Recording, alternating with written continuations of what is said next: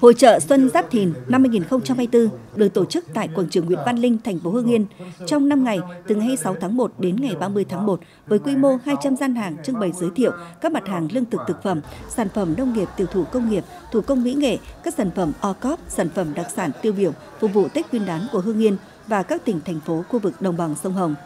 Cùng với quảng bá giới thiệu sản phẩm, hội trợ còn là nơi giao thương chia sẻ những tiềm năng đặc trưng văn hóa của các địa phương, hỗ trợ các doanh nghiệp hợp tác xã, cơ sở sản xuất kinh doanh, kết nối mở rộng thị trường là cơ hội để các doanh nghiệp doanh nhân trong khu vực quảng bá giới thiệu thương hiệu sản phẩm, đặc sản vùng miền, góp phần bình ổn thị trường, phục vụ nhu cầu mua sắm của người dân trong dịp Tết Nguyên đán cổ truyền của dân tộc.